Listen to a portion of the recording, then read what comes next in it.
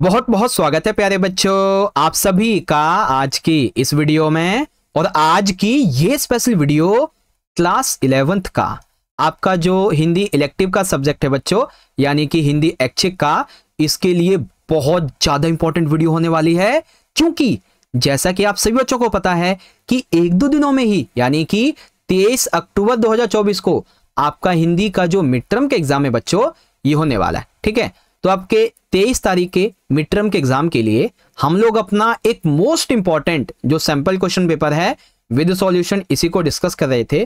तो ये जो वीडियो है, हमारे इसी सेकंड सैंपल पेपर के पार्ट नंबर टू की वीडियो रहने वाले। और ये सेकंड सैंपल पेपर आपके न्यू पैटर्न के अकॉर्डिंग है, ठीक है? जो नया पैटर्न आया है ना आपके तेईस तारीख एग्ज़ाम के लिए, ये उसी पर आधारित है। तो आधा पेपर आपको पार्ट वन में समझा दिया था, अब हम पार्ट टू को डिस्कस करने वाले हैं। और पार्ट टू की खासियत यह है बच्चों कि इस पार्ट टू के अंदर, इस वीडियो में, इस सैंपल पेपर में, अब हम जो भी क्वेश्चन डिस्कस करेंगे, वो सारे के सारे question one of the most important है सिलेक्टेड है और रिपीटेड क्वेश्चंस है, जो कि आपके तेईस तारीख के मिड टर्म के एग्ज़ाम में पूछे जा सकते हैं, ऐसी संभावना बनती है। इसलिए मैं कह रहा हूँ बच्चों वीडियो को एंड तक ज़रूर देखना। वीडियो को एंड तक देखने के बाद, अच्छी तैयारी करवाने की मेरी गारंटी है, लेकिन एंड तक देखना क्वेश्चन को अच्छे से समझना, याद करना, ये आपके हाथ में है।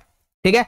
तो आओ बच्चों, शुरुआत करते हैं। और हाँ आपके इलेवेंथ के हिंदी के मिड टर्म के एग्ज़ाम के लिए, हम जो भी आपके लिए तीन से लेके चार जो सैंपल क्वेश्चन पेपर लेके आ रहे हैं, उसके यहाँ पे आई बटन में मैंने सारी वीडियोस के लिंक दे रखे हैं, हर एक सैंपल पेपर के। तो आप यहाँ पे क्लिक करके जो भी वीडियो मिस होती है, आप वहाँ से देख सकते हो। ओके बच्चों? तो चलिए शुरुआत करते हैं। एक बार पेपर का पैटर्न देख लेंगे, फिर हम लोग आगे बढ़ेंगे। ठीक है? देखो, हिंदी का पेपर आपका तीन घंटे का आने वाला है और अस्सी नंबर का रहेगा। अब जो है ना पेपर के अंदर आपके तीन खंड होंगे, खंड का और खागा और इसमें आपके चौदह प्रश्न होंगे। सबसे पहला खंड का रहेगा बच्चों आप पठित बोध का। इससे संबंधित दो प्रश्न होंगे, यानी कि एक तो रहेगा दस नंबर का, एक रहेगा आपका आठ नंबर का। तो इस तरीके से ये आपका अट्ठारह मार्क्स का बनता है। उसके बाद खंड खा रहेगा बच्चों, अभिव्यक्ति और माध्यम की आपकी जो पुस्तक है, इससे संबंधित पाँच प्रश्न, जिसमें रचनात्मक लेखन हो गया मतलब दृश्य लेखन हो गया, परिपत्र पत्र प्रतिवेदन प्रेस विज्ञापित जो कार्यसूची होती है कार्यवृत होता है ये सारी चीज़ें और इन सभी को मैं समझा चुका हूँ। तो टोटल जो है ना, ये 22 मार्क्स का आएगा। तो आपका खंड का और खा, इसको आपको मैंने ऑलरेडी पार्ट वन में समझा दिया है। पार्ट वन की वीडियो का लिंक आई बटन में दे दूँगा और डिस्क्रिप्शन बॉक्स में देख लेना। अब आज हम जो समझेंगे, ये है खंडगा जिसमें अंतरा भाग एक और अंतराल भाग एक इसके जितने भी क्वेश्चन हैं, यानी कि सात प्रश्न पूछे जाएँगे, जिसमें आपके एमसीक्यू भी होंगे, आपकी थ्योरी वाले क्वेश्चन भी होंगे, और इसी में आपकी सह प्रसंग व्याख्याएँ भी होंगी, हर एक कविताओं की चैप्टर्स की भी और सेकंड वाली बुक की भी। तो इन सभी को आज हम इस वाली वीडियो में समझने वाले हैं। तो सारे बच्चे, इस वीडियो को कंप्लीटली एंड तक ज़रूर देखना, तैयारी बहुत अच्छी करवाऊँगा। ठीक है? एक बात पहले हम रिवाइज कर लेते, पिछली वीडियो में हमने क्या डिस्कस किया था? तो खंड का यानी कि अपठित बोध हमने डिस्कस किया था। जिसमें पहला क्वेश्चन हमारा दस नंबर का था, ऐसे क्वेश्चन से पूछे गए थे। सेकंड अंश पर आधारित कविता वाला जो हमारा होता ना, काव्यांश वाला, वो था हमारा। फिर खंड खा, यानी कि अभिव्यक्ति और माध्यम, इसको हमने डिस्कस किया था, जिसमें देख सकते हो कितने बढ़िया बढ़िया क्वेश्चन को हमने डिस्कस किया था। इसके अलावा आपको मैंने जो है ना दृश्य लेखन बताया था कि दृश्य लेखन कैसे लिखना है, जैसे पुस्तक प्रदर्शनी का दृश्य लेखन था, ठीक है? और फिर आपको मैंने बताया था पत्र वगैरह कैसे लिखना है। देखो, पत्रों को मैंने इमेजेस के माध्यम से, बहुत ही टिप्स एंड ट्रिक्स के माध्यम से बहुत अच्छे से आपको सारी चीज़ समझा रखी थी। ठीक है? इसके अलावा आपको जो है ना, देखो यहाँ पे क्या है कि प्रतिवेदन कैसे लिखना है, कार्यव्रत कैसे तैयार करना है तो ये सब कुछ मैंने आपको अच्छे से समझा रखा है। ठीक है? जैसे देखो, प्रतिवेदन इस तरीके से लिखना है। ठीक है? फिर कार्यव्रत देखो इस तरीके से लिखना है। इसके अलावा कुछ क्वेश्चन आंसर थे डायरी लेखन के बारे में, संचार माध्यम के बारे में तो ये सारी चीज़ें आपको मैं समझा चुका हूँ पहले ही। ओके? तो चलिए बच्चों, आज के इस वीडियो को शुरुआत करते हैं, जो हमारी खंड गा के रहने वाले। आर यू गैस रेडी तो चलिए शुरुआत करते हैं। ओके तो यहाँ पे आप देख सकते हैं, आज की इस वीडियो का जो खंड नंबर गा है पाठ्य पुस्तक अंतरा भाग एक और अंतराल भाग एक, इससे संबंधित, और ये अकेला सेक्शन आपका 40 मार्क्स का आने वाला है। आप ध्यान से देखना, सारे क्वेश्चन आपको अच्छे से समझाऊँगा। देखो बच्चों, पहला हमारा क्वेश्चन है क्वेश्चन नंबर एट इसमें क्या कहा गया है? कि पठित काव्यांश को ध्यानपूर्वक पढ़कर दिए गए प्रश्नों के लिए सर्वाधिक उपयुक्त विकल्पों का चयन कीजिए। विकल्पों का चयन करना है, यानी कि एमसीक्यू वाला रहेगा। टोटल आपके मिड टर्म के एग्ज़ाम में चार कविताएँ हैं। ठीक है ना? मतलब चार कवियों की कविताएँ हैं। वो छोटे छोटे पार्ट अलग बात है। तो इन सभी की कविताओं से आपसे एमसीक्यू पूछे जाएँगे। अब जैसे कि यहाँ पे पहली कविता है कबीर जी की। इनके जो पद हैं, अरे इन दोहू न रहा न पाई, इसके बारे में। तो इसको पढ़ते हैं, क्या कहा गया, इसको देखेंगे। तो कहा गया है अरे इन दोहू न राह न पाई, हिंदू अपनी करे बढ़ाई गागर छुअन न दे, यानी कि ये दोनों ने ही एक राह को नहीं पाया है, ठीक है ना? ये दोनों ही, इन दोनों में जो हिंदू हैं, वो अपनी बड़ाई करते हैं और गागर को छूने नहीं देते। वैश्या के पायंत सोबे यह देखो हिंद भाई एक तरफ़ अपने गागर को नहीं छूने देते ऊँचे जाति के लोग, दूसरी तरफ़ ये वैश्या के पायंतर सोते हैं। ये देखो इनकी हिंद भाई ऐसा ही मुसलमानों के बारे में कहते हैं कबीर जी, कि मुसलमान के पीर औलिया मुर्गा मुर्गी खाई खाला केरी बेटी ब्याहे, घर में करे सगाई। बाहर से एक मुर्दा लाए, धोया, धोई, चढ़वाई। सब सखियाँ मिल जीवन बैठी, घर मर करे बढ़ाई। हिंदुन की हिंदवाई देखी, तुर्कन की तुर्काई।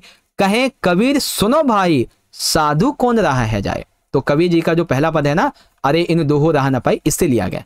अब इससे संबंधित पाँच हमारे एमसीक्यू होंगे। जैसे कि पहला एमसीक्यू हिंदुओं ने की हिंदुआई देखी, तुर्कन की तुर्काई।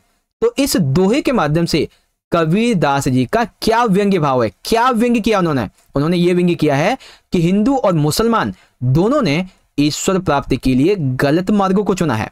हिंदू और मुसलमान दोनों में ही अंधविश्वास और छुआछूत जैसी बुराइयाँ हैं। यानी कि का और खा, ये दोनों हमारा सही होगा दैट मीन्स गा वाला जो ऑप्शन है, ये निकल के आ जाएगा। ठीक है? अब देखो, ये क्या कहते हैं कि हिंदू मुसलमान का परस्पर प्रेम का वर्णन करें, ऐसा तो कुछ है ही नहीं। तो मतलब कि गा वाला आपका सही है। इसके बाद, इस पैसेज में सबसे आखिरी लाइन हमारी ये है कि कहें, कबीर, सुनो भाई, साधु कौन रहा है जाए? तो कबीर जी की, दास की ये जो अंतिम लाइन है, ये किस राह की बात कर रहे हैं? तो कबीर जी, पता है किस राह की बात कर रहे हैं? एक ऐसी राह जिसमें मानव धर्म सर्वोपरि हो। किसी अन्य धर्म की यहाँ पे बात नहीं करते हैं। कोई धर्म सर्वोपरि नहीं है सिर्फ़ और सिर्फ़ मानव धर्म सर्वोपरि है। ऐसी राह की ये बात करते हैं। ठीक? अब देखो थर्ड क्या कहता है कि हिंदू अप, हिंदू अपने करें बढ़ाई गागर छुअन न दे वैश्या के पायंतर सोए यह देखो हिंद भाई। तो कवि जी ने इस लाइन के माध्यम से जो हिंदू धर्म में व्याप्त किस बुराई का वर्णन किया है? तो हिंदू धर्म में व्याप्त छुआछूत जैसे देखिए गागर छुआ न दे तो ये छुआछूत को दर्शाता है एवं बाहरी आडंबर और जातिगत विविधता। बाहरी आडंबर वैश्या के पायंतर सोहे, ठीक है ना? बाहरी आडंबर ही तो है और जातिगत व्यवस्था इसका इन्होंने वर्णन किया है। तो खा वाला जो है, ये आपका करेक्ट है। इसके अलावा कबीर जी ने हिंदू और मुसलमान दोनों को ईश्वर के बारे में क्या कहा है? तो दोनों को कहा है कि ईश्वर एक है चाहे राम हो या रहीम हो, इसमें कोई भेद नहीं है। ईश्वर सर्वदा है, यानी कि ईश्वर हमेशा है, हर जगह पर है, और सभी प्राणियों के हृदय में ईश्वर विद्यमान है। यानी कि का और खा ये सही हो जाएगा तो ऑप्शन घा आपका निकल कर आ जाएगा। सबसे आखिरी क्वेश्चन बच्चों, कि मुसलमान के पीर औलिया, मुर्गा मुर्गी खाई, इसके माध्यम से कबीरदास जी किसकी निंदा करते हैं? तो कबीरदास जी, जीव हत्या और मांस सेवन की निंदा करते हैं। त्योहारों में दी जाने वाली बलि की निंदा करते हैं। मतलब कि का और खा। दैट मीन्स कि आपका जो गा ऑप्शन है, ये करेक्ट हो जाएगा। ठीक है? तो इस तरीके से आपका ये जो क्वेश्चन था बच्चों क्वेश्चन नंबर एट कविताओं वाला ये पूरा हो गया। अब ध्यान से देखो, अभी आपको मैं कम से कम ना तीन सैंपल क्वेश्चन पेपर और करवाऊँगा। तो इन तीनों में ही आपकी जो, अब जो तीन कविताएँ और बच गई है ना, उनके भी एमसीक्यू करवा दूँगा। तो इस तरीके से मान लो कि आपकी पूरी तैयारी हो जाएगी अच्छे से। है ना? चलो अब देखते हैं अगले क्वेश्चन को। ओके तो चलिए बच्चों, अब देखिए क्वेश्चन नंबर नाइन्थ क्या कहता है कि काव्य खंड पर आधारित निम्नलिखित तीन प्रश्नों में से इन्हीं दो प्रश्नों के उत्तर लगभग चालीस शब्दों में दीजिए। यानी कि पेपर में आपसे टोटल जो है ना, दो नंबर के टोटल तीन क्वेश्चन पूछे जाएँगे, जिसमें से आपको कोई दो करने हैं। ठीक है ना? देख रहे हो दो नंबर के दो क्वेश्चन लेकिन मैंने यहाँ पे लिए हैं चार क्वेश्चन ताकि आपको एक क्वेश्चन और एक्स्ट्रा समझा सकूँ। इसी वीडियो में तो इससे आपकी और अच्छी प्रिपरेशन हो जाएगी, है ना? चलिए, देखिए, पहला क्वेश्चन क्या कहता है कि कबीर जी जो हैं, ये निर्गुण संत परंपरा के कवि हैं। आप पहले ये समझो कि निर्गुण परंपरा कैसी होती है। निर्गुण का मतलब होता है निर जमा में गुड़ यानी कि जिसका कोई गुण नहीं है, कोई आकार नहीं, कोई अनुष्ठान पद्धति नहीं, कोई पूजा पद्धति नहीं, कोई मूर्ति नहीं, इसको निर्गुण बोलते हैं।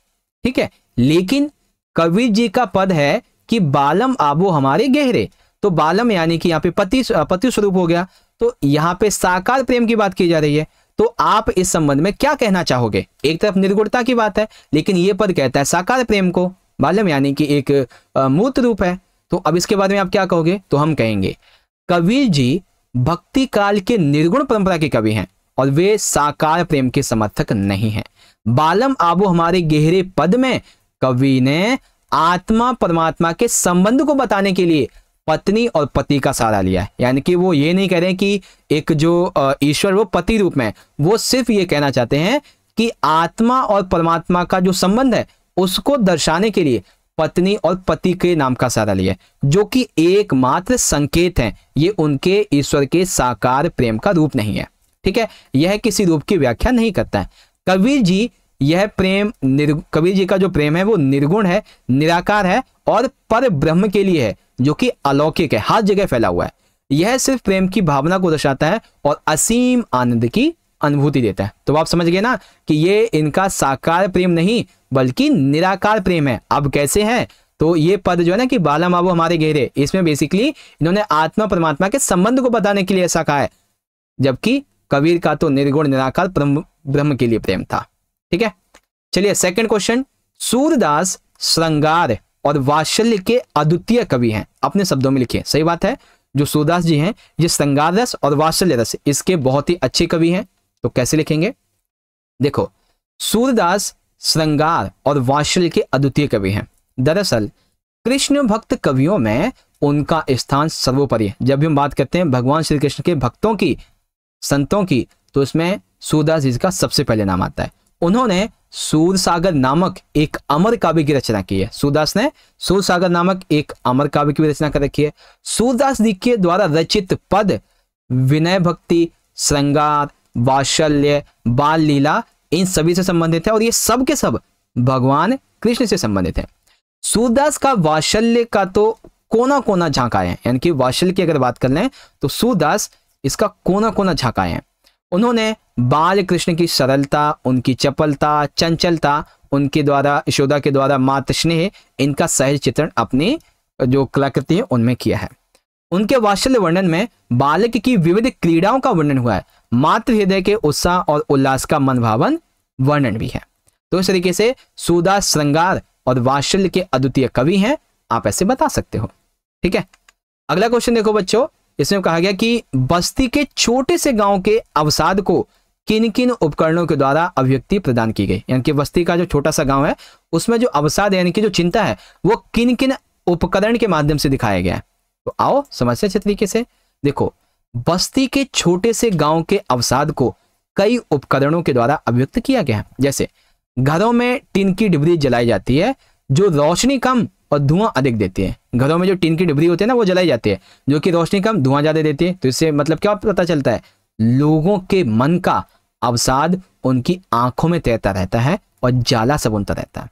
दूसरी ओर, दीपक की लौ के संग उनके हृदय का कांतर क्रदन मूक निराशा कांपती रहती है। जैसे दीपक की लौ कांपती रहती है ना, हिलती डुलती रहती है, वैसे ही मनुष्य के अंदर की जो भावनाएँ हैं, जो निराशा, वो कांपती रहती है। लाला के मन में उठने वाली दुविधा को भी अपने आ, एक सेकेंड अच्छे क्वेश्चन है कि लाला के मन में उठने वाली जो दुविधा थी इसको अपने शब्दों में लिखिए। ठीक है ना? तो ये क्वेश्चन है आपका इसकी प्रैक्टिस कर लेना अच्छे से। सिंपल सा सिंपल सा इसका आंसर हो जाएगा कि भाई लाला जो मुझे सोचता है कि मैं इतना ईमानदार हूँ इतना सब कुछ अच्छी मेहनत करता हूँ लेकिन फिर भी मैं अपने घर वालों के लिए ढंग से कुछ कर नहीं पा रहा हूँ और मैं जीवन में आगे नहीं बढ़ पा रहा हूँ और अपनी तरफ़ से एक दो पॉइंट लिख सकते हो। है ना? तो ये तो खैर क्वेश्चन अलग आ गया यहाँ पे उठ के। बाकी इसका आंसर आप तो समझ गए होंगे। है ना? चलो, अगला क्वेश्चन है आपका, वो जो हँसी की चोट, सपना, दरबार, ये तीन जो सवैये ना उसके। तो हँसी की चोट सवैये में किन पाँच भौतिक तत्वों का वर्णन किया गया है? वियोग में ये तत्व किस प्रकार से विदा होते हैं? तो कौन कौन से तत्वों का वर्णन किया गया बच्चों? आइए देखते हैं। हँसी की चोट सवैये में कवि ने इन पाँच तत्वों का वर्णन किया है। सबसे पहला, वायु, जल, अग्नि, भूमि और आकाश। कौन कौन से? वायु, जल, अग्नि, भूमि और आकाश। अब वियोग वियोग का मतलब हो गया कि बिछड़ना। तो वियोग में ये तत्व किस प्रकार विदा हो रहे हैं? यानी कि शरीर से ये तत्व कैसे जा रहे हैं? तो पहला आता है वायु तत्व। दरअसल वियोग में जब वो रोती है, ठीक है ना, और रोते हुए तेज़ी से साँसें लेती है तो इससे उसका वायु तत्व विदा हो जाता है। यानी कि तेज़ी से रोने की वजह से ठीक है? हपक हपक के रोने की वजह से, साँसें भर भर के रोने की वजह से, तेज़ी से सांस लेने की वजह से वायु तत्व विदा हो रहा है। जल तत्व अब रोने से निरंतर आँसू बहने लगे हैं तो उसके शरीर से जल तत्व बह गया है।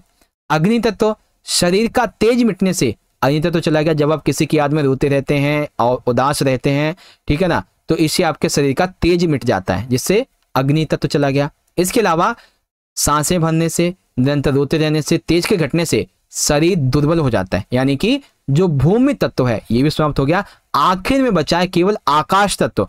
आकाश तत्व का मतलब है यहाँ पे आशा से। और आशा है नायिका के अंदर अभी भी कि हो सकता है कि भगवान श्री कृष्ण उसे एक बार फिर से स्वप्न में दर्शन या फिर उसे मिलने आए। तो आकाश तत्व अभी भी शेष है, क्योंकि उसके अंदर अभी आशा जागृत है कि एक बार ऐसा हो सकता है कि वो मिलने आए सपने में इस तरीके से। ठीक है? तो वियोग में कौन कौन से तत्व यहाँ पे बताए गए हैं और वो विदा कैसे लेते हैं, ये सारी चीज़ें। ठीक है? अभी आप टेंशन मत लो बच्चों।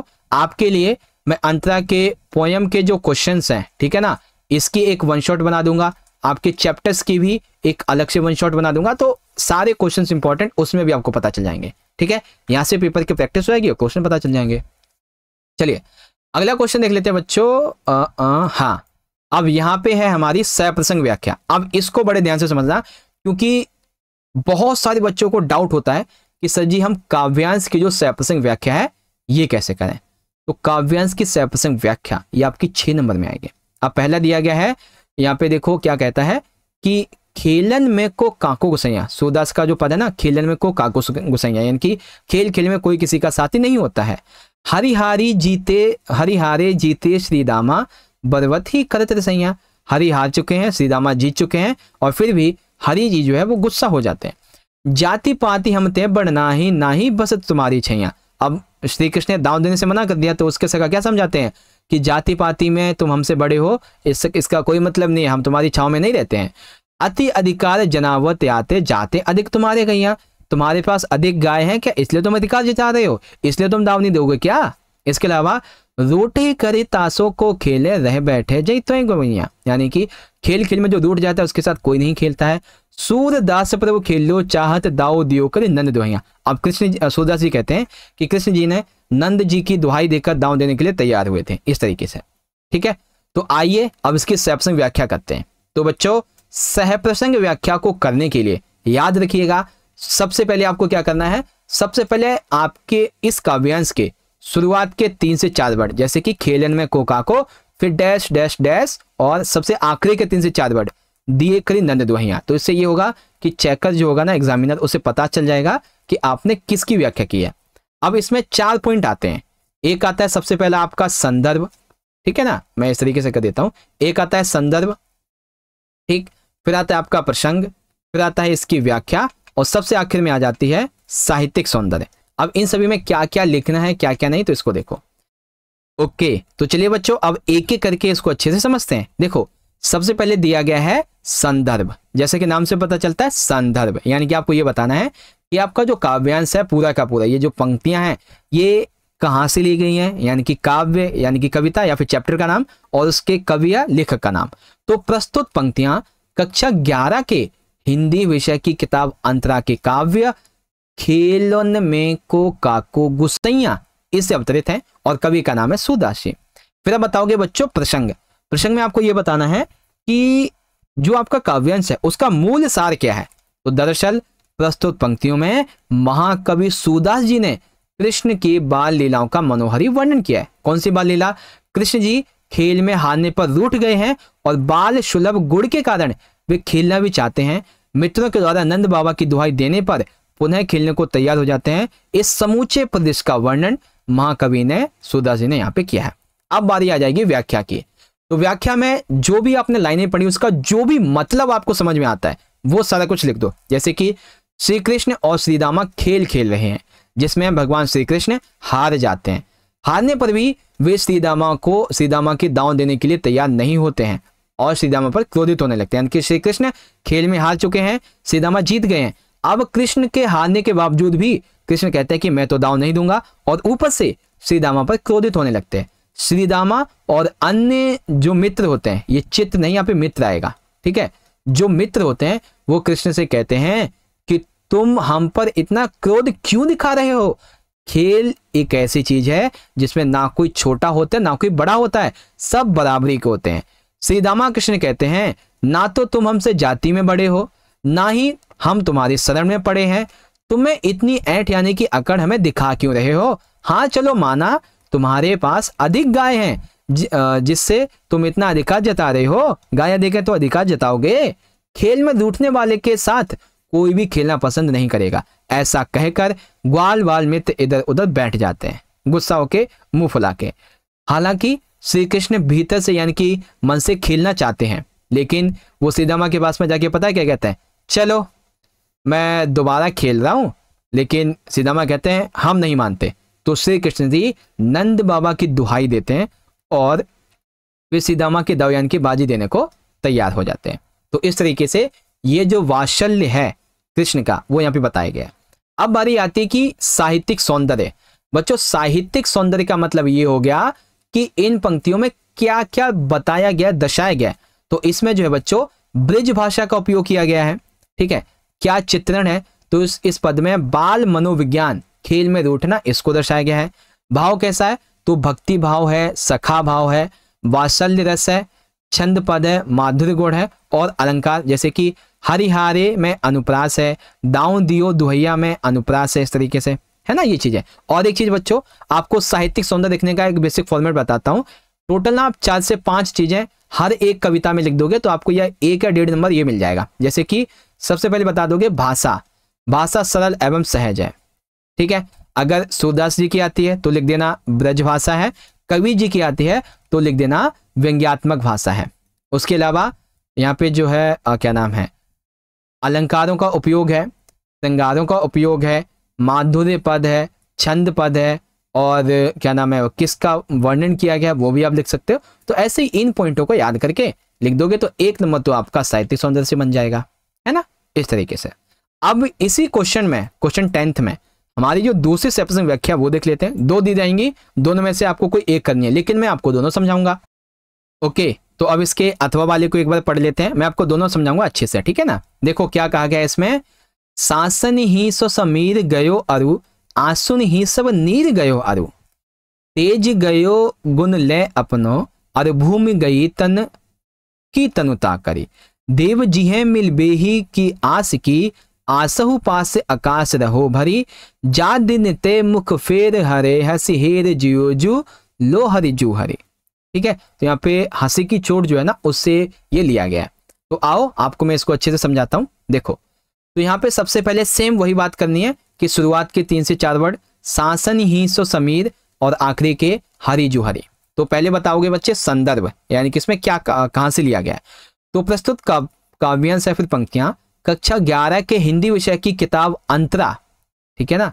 अंतरा के काव्य हँसी की चोट से अवतरित है, जिसके कवि हैं देव जी देव जी का पूरा नाम क्या है? अच्छा कोई बच्चा मुझे बताएगा कि देव जी का पूरा नाम क्या है? जो बच्चा एकदम सही आंसर करेगा, उस बच्चे के कमेंट को मैं हार्ट भी दूँगा और हो सकेगा तो पिन भी कर दूँगा। अगर आपका राइट आंसर आया कि देव जो कवि हैं, इनका पूरा नाम क्या है? ठीक है? तो इस प्रसंग में क्या कहा गया है बच्चों? देखो, प्रस्तुत पंक्तियों में महाकवि देव जी ने कृष्ण के हँसी से घायल गोपी की व्रह की अवस्था का बड़ा ही मार्मिक वर्णन किया। यानी कि कृष्ण जी की हँसी से घायल गोपियों की जो विरह अवस्था है, इसका मानविक वर्णन किया है। महाकवि देव के अनुसार कृष्ण के वियोग में पंच महाभूतों से बनाया गोपी का शरीर एक एक करके नष्ट होता जा रहा है और क्रमशः वह मृत्यु की तरफ़ बढ़ रही है। गोपी की वेदना का वर्णन करते हुए महाकवि जी कहते हैं। अब क्या कहते हैं? तो वो बातें आएँगी व्याख्या में। ठीक है? तो देखिए क्या कहते हैं कवि जी? कवि कहते हैं कि जिस दिन से श्री कृष्ण गोपी के सामने एक बार हँसते हुए मुख फेर कर चले गए, उसी दिन से नायिका वृह में व्याकुल होगी दरअसल श्री कृष्ण जी वृंदावन से जब मथुरा जा रहे होते हैं तो उसी समय खास करके ऐसा होता है। ठीक है?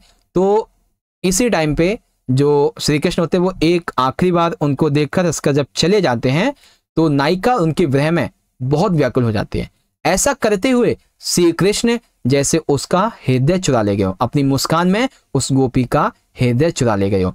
तभी से गोपी के शरीर के पंच तत्वों में से एक तत्व एक एक तत्व विदा होते चले जा रहे हैं।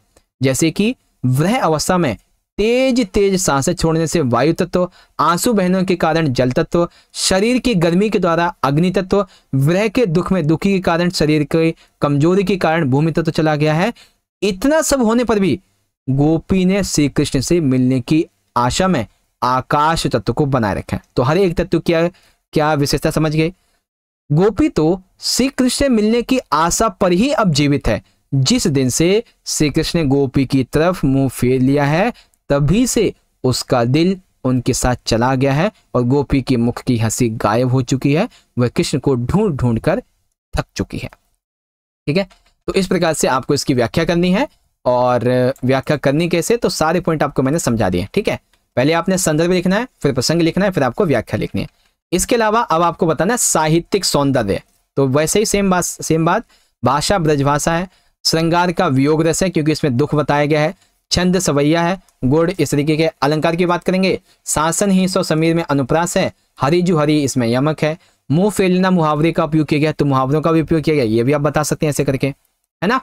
तो इस प्रकार से आपको समझ में आ गया। एक बार सारे बच्चे ईमानदारी से कमेंट में मुझे बताओ। आपको लिखना है क्वेश्चन नंबर टेंथ और लिखना है यस सर तो इसका मतलब आपको सह प्रसंग व्याख्या जो है, ये अब लिखनी आ गई है। मैं समझ जाऊँगा। ठीक है? तो आपको लिखना है question tenth and yes sir तो मैं समझ जाऊँगा कि हाँ आपको सह प्रसंग व्याख्या लिखनी आगे। इतना ही नहीं, अभी पार्ट की जो सह प्रसंग व्याख्या है, ये भी आपको मैं बताऊँगा। बस आप एंड तक इसको देखते रहो, ठीक है? चलो, अब शुरुआत करेंगे अपने अगले क्वेश्चन की क्वेश्चन नंबर इलेवंथ अब देखो question eleventh twelfth and thirteen ये तीनों ही क्वेश्चन जो हैं, ये होंगे हमारे पाठों से संबंधित, जिसे हम बोल सकते हैं अध्याय, या फिर जिसे हम चैप्टर बोल सकते हैं। अब चलो देखते हैं तो क्वेश्चन इलेवंथ क्या कहता है? कि निम्नलिखित पठित गद्यांश को ध्यानपूर्वक पढ़कर दिए गए प्रश्नों के लिए सर्वाधिक उपयुक्त विकल्प का चयन करो। जैसे कि पहला कहा गया है आ, एक सेकेंड इसको पहले पढ़ेंगे अच्छे से उसके बाद में इसके क्वेश्चन को देखेंगे। तो कहा गया है मुंशी जी के निपटने के पश्चात सिद्धेश्वरी उनकी जूठी थाली लेकर चौकी की ज़मीन पर बैठ गई। यानी कि जब घर में सभी के सभी सदस्य उसके बेटे और उसके पति मुंशी जी वो पूरा काम कर लेते हैं, खा पी लेते हैं मतलब खाना हो जाता है उनका पूरा। उसके बाद में सिद्धेश्वरी मुंशी जी की ही जूठी थाली लेकर चौकी की ज़मीन पर बैठ गई। बटलोई की दाल को कटोरे में उड़ेल लिया वह पर वह पूरा भरा नहीं। यानी कि जो कटोरी थी ना, वो पूरा भरा भी नहीं। छिपुली में थोड़ी सी चने की तरकारी बची थी, उसे पास खींच लिया।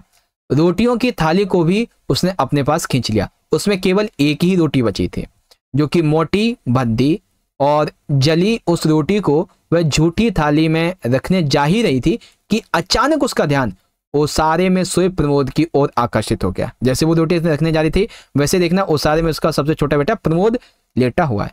उसने लड़के को कुछ देर तक एक टक देखा, फिर रोटी को दो बराबर टुकड़ों में विभाजित कर दिया। एक ही रोटी थी, उसको भी तोड़ दिया। आय हाय रे ये गरीबी। एक रोटी है, उसको भी तोड़ दिया आधार एक टुकड़े को अलग रख दिया और दूसरे टुकड़े को अपनी जूठी थाली में रख लिया इनकी जो उनकी मुंशी जी की थी। तदुपरांत एक लोटा पानी लेकर खाने बैठ गए और जैसे ही उसने पहला ग्रास मुँह में रखा, तब ना मालूम कहाँ से उसकी आँखों से टप टप आँसू चूने लगे। घर की जो मध्यम वर्गीय दरिद्रता है, जो भूखी क्या नाम है, अनाज का अभाव है, इन सभी की वजह से वो इन सभी का कारण खुद को मानती है। ठीक है ना?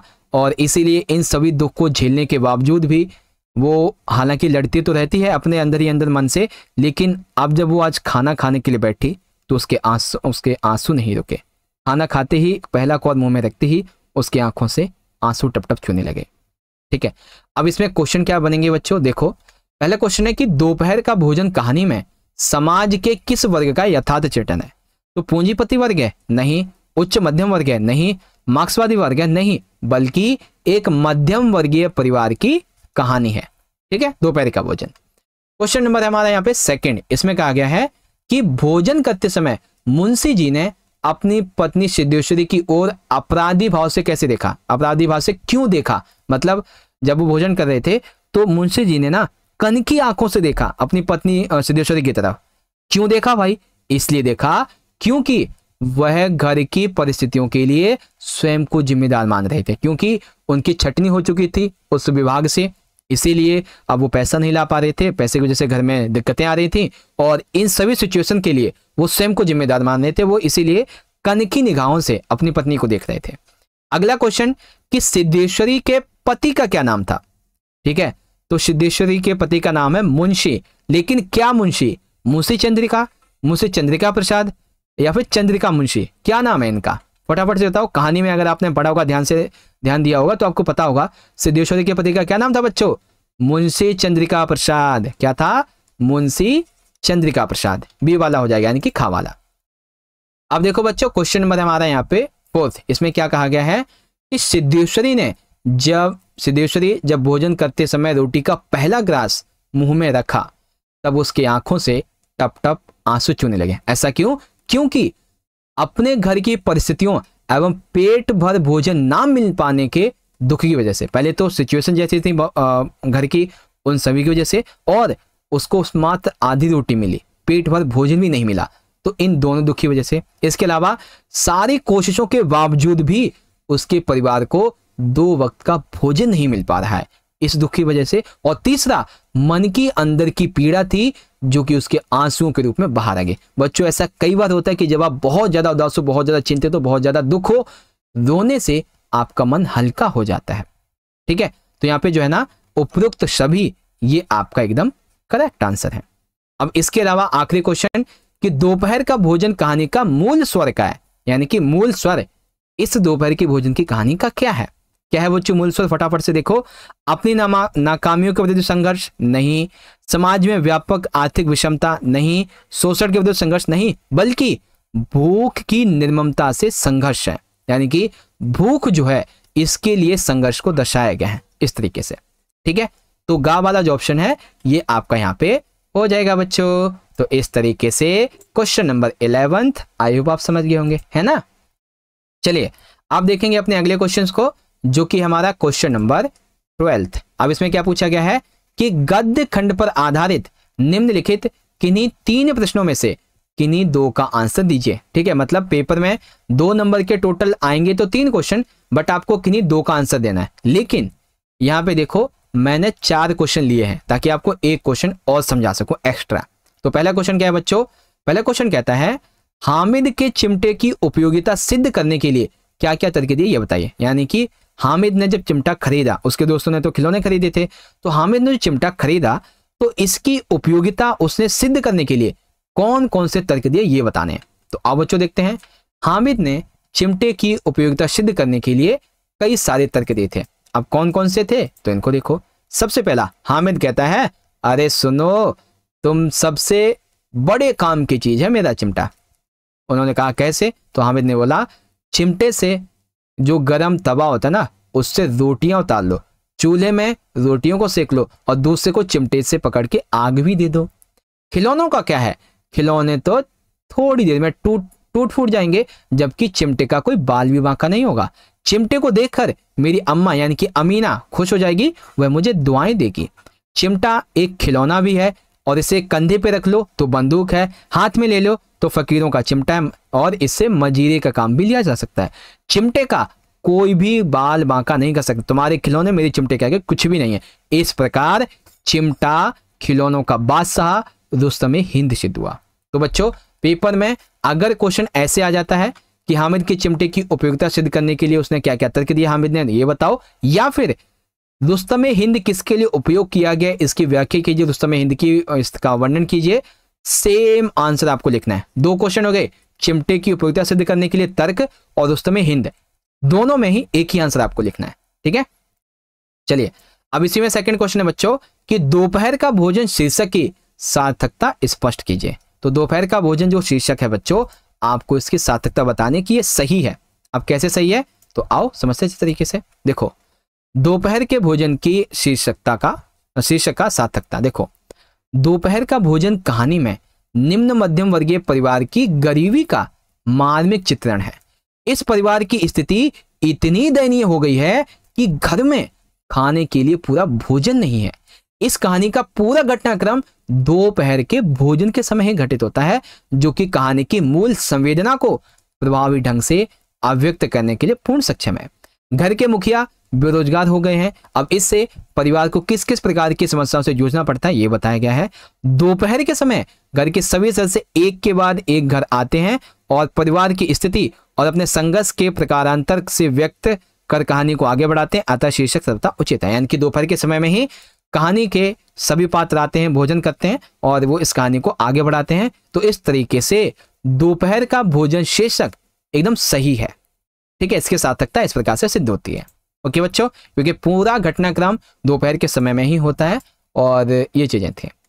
अब देखते हैं इसका तीसरा क्वेश्चन क्या कहता है बच्चों? कि टॉर्च बेचने वाले पाठ में पाँच साल के बाद जब दोनों दोस्तों की मुलाकात हुई तो वो किन सिचुएशंस में किन किन परिस्थिति में हुई? जैसे थ्री इडियट मूवी की तरह। उन्होंने कहा था कि पाँच सितंबर को हम लोग मिलेंगे। ठीक है ना? इसी जगह पे वापस से फिर देखेंगे कौन कितना अमीर हुआ। तो वैसे ही पाँच साल के बाद ये दो दोस्त थे इन्होंने कहा कि हम यहीं इसी जगह पे मिलेंगे। तो दूसरी बार, पाँच साल के बाद जब दोनों की मुलाकात हुई तो वो किन परिस्थितियों में हुई? तो आओ देखते हैं। टॉर्च बेचने वाले पार्ट में पाँच साल के बाद जब दोनों दोस्तों की मुलाकात हुई तो किस स्थिति में? सबसे पहली बात, पाँच साल के बाद एक दोस्त देखता है कि एक मंच पर एक साधु भाषण दे रहा है और सब उसका भाषण बड़े ध्यान से सुन रहे हैं। जैसे आज के टाइम पे जो साधु संत होते हैं बड़े बड़े जो कि सभा वगैरह करते हैं तो एकदम मस्त, एकदम मंच पे बैठे हुए हैं और वो भाषण दे रहे हैं और लोग उनको सुन रहे हैं। उसने ये देखा कि ये साधु जो है ना, लोगों को अंधकार का डर दिखा रहा है। यानी कि भीतर, आत्मा के भीतर जो अंधकार है, इसका डर दिखा रहा है और ज्ञान के प्रकाश में उन्हें आने के लिए कहता है। उस साधु की बात को सुनकर पहला मित्र हंस पड़ा। अभी पता नहीं है उसको कि ये उसका दोस्त ही है, लेकिन वो हंस पड़ा।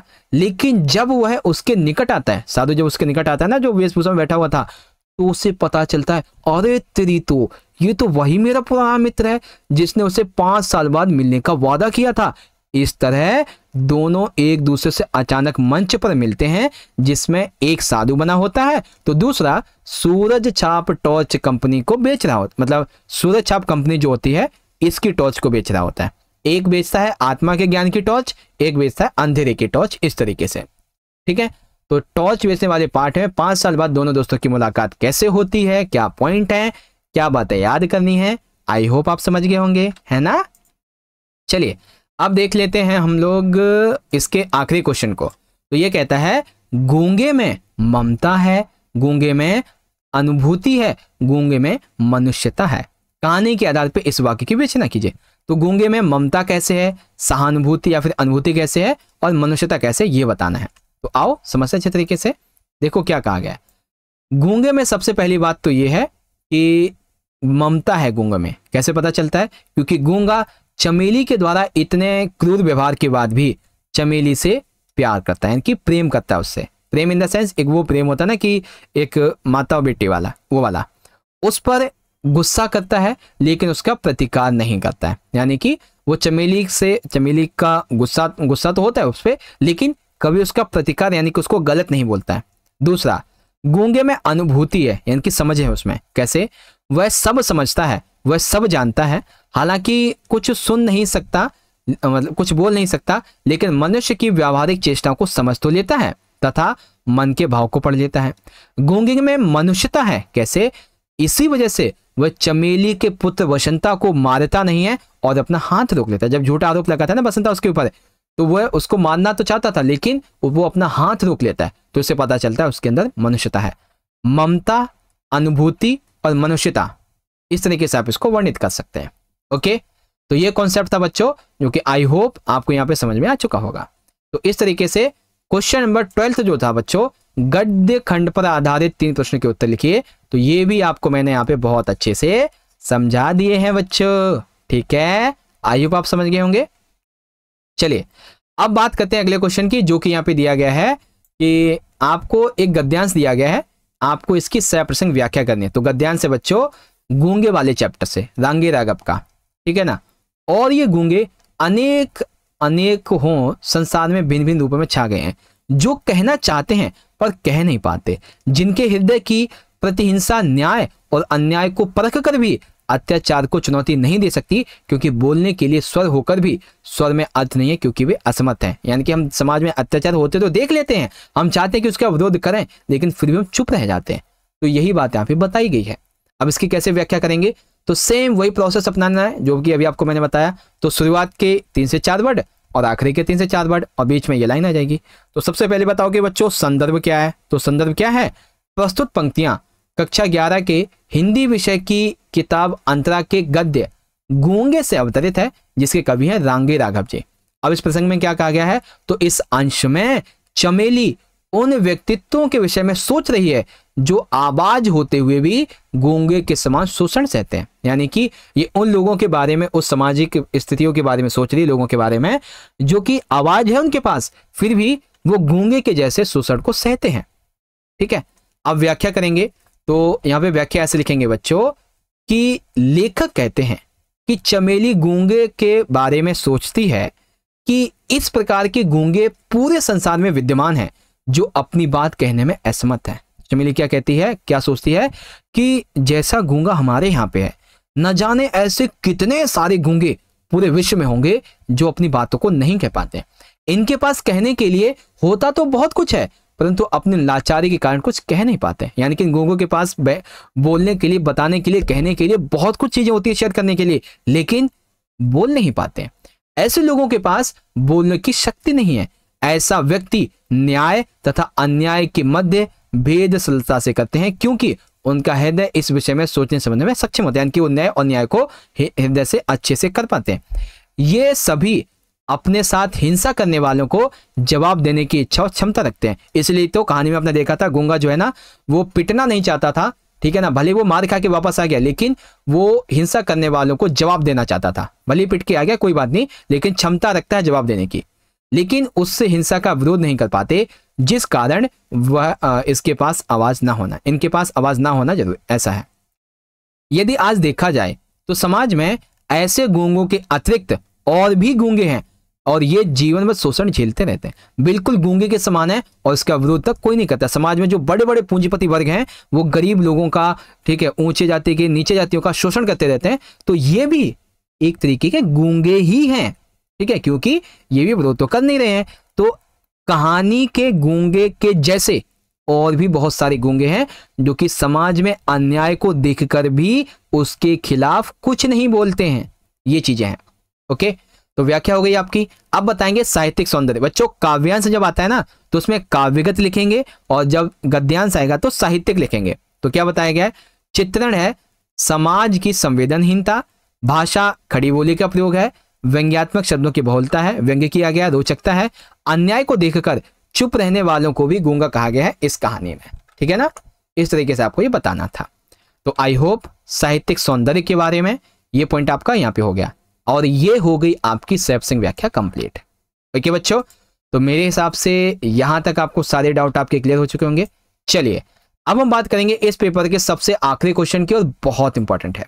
इसमें क्या कहा गया है? क्वेश्चन फोर्टीन में, जो आपकी अंतराल भाग एक किताब है ना, इससे लिया गया। तो दिए गए प्रश्नों में से किन्हीं दो प्रश्नों के उत्तर लगभग सौ शब्दों में लिखिए। बेसिकली पाँच नंबर की दो क्वेश्चन है। अब पाँच नंबर का क्वेश्चन है तो आपको आंसर शीट का जो आपका फ्रंट पेज है, इतना तो लिखना पड़ेगा। तो यहाँ पे मैंने पहला क्वेश्चन लिया बच्चों, कि लेखक जन्मजात कलाकार है।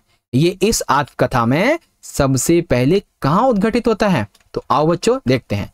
देखो कहानी के पहले अंश में जब लेखक बोर्डिंग स्कूल में पढ़ने के लिए जाता है तो उस समय उसकी ड्राइंग क्लास यानी कि चित्रकला की कक्षा चल रही होती है। तो उसी चित्रकला की कक्षा में उसकी ये कला सबसे पहले उभर कर सामने आती है। दरअसल होता यह है कि एक दिन चित्रकला की कक्षा में जो उसके मास्टर होते हैं, वो सभी बच्चों से कहते हैं कि देखो बच्चों, मैंने ब्लैक बोर्ड पे एक चिड़िया बनाई है। तुम लोग भी अपनी स्लेट पर इस चिड़िया को बनाओ। ठीक है? तो सभी बच्चे स्लेट पे उस चिड़िया को बनाने लगते हैं। लेकिन पूरी क्लास में केवल लेखक ही ऐसे थे जिन्होंने उस चिड़िया का प्रतिलिपि, उस चिड़िया की जो चित्रता है, उसे हु बहू अपने स्लेट पे उतार दिया। इसके लिए उसे इस टेस्ट में दस में से दस अंक मिले और तब अध्यापक को यह एहसास हो गया कि इसके अंदर एक कलाकार छिपा हुआ है। तो कहानी के पहले अंश बड़ौदा के बोर्डिंग स्कूल में ही उसकी जो ये विशेषता है वो निखर के आती है। ठीक है? इसके अलावा बच्चों, यहाँ पे अब हमसे पूछा गया है क्वेश्चन नंबर सेकंड कि दुकान पर बैठे बैठे भी मकबूल के भीतर का कलाकार उसके किन किन क्रियाकलापों से अव्यक्त होता है? वो दुकान पे बैठा था, चाचा मुराद अली की, लेकिन फिर भी उसके अंदर एक कलाकार की क्रियाएँ अभी भी चल रही थी। वो क्या क्या करता था? ऐसे कार्यकलाप बताओ। तो आइए देख लेते हैं। देखो, इस तरीके से लिखेंगे। दुकान पर बैठे बैठे भी मकबूल की कलाकारी। मकबूल जो था, ये दुकान पर बैठने के बाद भी ड्राइंग और पेंटिंग में अपना सारा ध्यान रखता था, क्योंकि मकबून दुकान के गले का मुँह जमानी हिसाब रखता था। इसके साथ वह अपने आसपास आने तथा उठने बैठने वाले लोगों का स्केच बनाता था, जैसे कि घूंघट ओढ़े मेहतरानी का, पैंच वाली पगड़ी पहने तथा गेहूँ की बोरी उठाने वाले मजदूर, सिजदे के निशान, दाढ़ी से युक्त पठान, बकरी के बच्चे का स्केच, ये सभी बनाता था। इसके अलावा एक पॉइंट ये भी आ जाएगा बच्चों, कि मकबूल ने एक फ़िल्म देखी थी, सिंगड़। इस फ़िल्म से मतलब सिंगड़ फ़िल्म के पोस्टर को देखकर उसने अपनी सारी किताबें बेच डाली और ऑयल पेंटिंग करना आरंभ कर दिया। इसी फ़िल्म ने उसे ऑयल पेंटिंग करने के लिए प्रेरित कर लिया और उसने अपनी ऑयल पेंटिंग भी उसी दुकान पर रहकर बनाई थी। अपने चाचा मुराद अली की दुकान पर बैठ कर ठीक है? तो ये हो गए आपके इतने बड़े। अब इतने बड़ा आंसर लिखोगे तो पाँच नंबर तो मिल ही जाएँगे आसानी से। एक आखिरी क्वेश्चन है बच्चों हमारा यहाँ पे, कि हुसैन की कहानी अपनी जुबानी, ठीक है ना? ये एक उद्देश्यपूर्ण रचना है। इस कथन पर पाठ के आधार पर विचार कीजिए। यानी कि जो कहानी है, हुसैन की कहानी है, अपनी जुबानी, ये एक उद्देश्य वाली रचना है। कैसे है? तो आओ, समझते हैं अच्छे तरीके से। देखो, हुसैन की कहानी अपनी जुबानी, ये है बच्चों, एक उद्देश्यपूर्ण रचना। अब कैसे है? देखो सबसे पहला पॉइंट दरअसल, यह आत्मकथा स्वयं लेखक के द्वारा अपने जीवन के वर्णन को करते हुए लिखी गई है। यदि विद्यार्थी जीवन में प्रतिभा विकास का सही अवसर और सही दिशा मिल जाए तो विद्यार्थी के जीवन का उद्देश्य पूरा हो जाता है। यानी कि जब अभी आप एक विद्यार्थी हो, अगर आपके जीवन को एक सही अवसर मिले और सही दिशा मिल जाए तो डेफिनेटली आप अपने जीवन का उद्देश्य पूरा कर सकते हैं। अतः अभिभावक शिक्षक इन दोनों को ही अपने बच्चों को शैक्षणिक योग्यताओं से इत्र प्रतिभा को पहचान कर, उसके विकास में सहयोग देकर, उसके उज्जवल भविष्य का मार्ग प्रशस्त करना चाहिए। जैसे कि इसके जो पिताजी थे, हुसैन के उन्होंने देखा कि मेरे बेटे को ना कलाकारी अच्छे से आती है। तो उन्होंने उसके लिए कलर वगैरह मंगवाए और उसकी कला का सम्मान किया। ठीक है ना? तो ऐसे ही हम सभी के अभिभावकों को, हमारे शिक्षकों को केवल शैक्षणिक योग्यताओं के अलावा जो हमारी प्रतिभा है जो हमारी स्किल है इसको भी आगे विकसित करवाना चाहिए ताकि हम भविष्य में एक नए मार्ग को चुन सकें और हमारा एक नए भविष्य का निर्माण हो। ठीक है? ज़रूरी नहीं कि कॉपी किताब लिखने से पढ़ने से अच्छे मार्क्स लाने से ज़िंदगी बनेगी एक स्किल भी होनी चाहिए। और आज के टाइम पे इस मॉडर्न वर्ल्ड में भाई स्किल बहुत ज़्यादा ज़रूरी है। ओके बच्चों? तो इस तरीके से आज के इस पेपर का जो हमारा आ, एक सेकेंड। हाँ खंड नंबर खा था बच्चों। पाठ्य पुस्तक अंतरा और अंतराल का टोटल फोर्टी मार्क्स का, वो यहाँ पे कंप्लीट हो गया है। ठीक है? तो बस, आज की इस वीडियो के लिए ही, इतना ही। जिन बच्चों ने पिछली वीडियो नहीं देखी है, आप सभी से मैं फिर से कहूँगा, पिछली वीडियो को ज़रूर देखो, क्योंकि इसमें आपको पत्र लिखना मैंने बहुत अच्छे से समझा रखा है। एकदम ऐसे समझो कि एक ही बार ऐसा समझा दिया कि एक ही बार में समझ जाओगे। ठीक है ना? जैसे अधिकारी को पत्र लिखना है तो अधिकारी के लिए देखियो किस तरीके से मैंने लिखा हुआ है, कैसे एड्रेस लिखना है ठीक है, विषय क्या रहेगा? फिर आपके लिए एक जो जॉब लेटर है आवेदन पत्र है वो भी लिख रखा है मैंने कितने अच्छे तरीके से। इवन आपको जो प्रतिवेदन है, ये कैसे तैयार करना है? कार्यव्रत। तो प्रतिवेदन के लिए टॉपिक देखिए मैंने लिख रखा है और इसको सॉल्व भी किया हुआ है। इसके अलावा आपका जो कार्यव्रत था, उसको भी लिखा हुआ है और जो इंपॉर्टेंट क्वेश्चन थे आपके वित्तीय माध्यम के, वो भी लिख रखे हैं। डायरी लेखन के क्या क्या फ़ायदे होते हैं? संचार के प्रकार क्या क्या होते हैं? सारी की सारी चीज़ें। बहुत अच्छे से आपको समझा रखी है। ठीक है? तो चलिए बच्चों, आज की इस वीडियो को यहीं पे एंड करते हैं। आई होप आप सभी को यहाँ पे क्लास इलेवेंथ का, आपका हिंदी इलेक्टिव यानी कि हिंदी ऐच्छिक का जो मिड टर्म का एग्ज़ाम होने वाला है, इसके तैयारी के लिए आपका जो दूसरा और मोस्ट इंपॉर्टेंट सैंपल था वो यहाँ पे कंप्लीट हो चुका है। अब आप सभी को अगर ये वीडियो अच्छी लगी है, समझ में आ गया सारी चीज़ें तो फटाफट से इस वीडियो को लाइक करो, अपने सभी दोस्तों में ज़्यादा से ज़्यादा शेयर करो, और हाँ ऑल द बेस्ट आपके मिड टर्म के एग्ज़ाम के लिए। कमेंट बॉक्स में अपना फीडबैक बता के ज़रूर जाना। मिलते बच्चों आपसे अगली वीडियो में। तब तक के लिए पढ़ते रहिए, अपना ख्याल लिखिएगा बहुत बहुत धन्यवाद। जय हिंद, जय भारत, वंदे मातरम।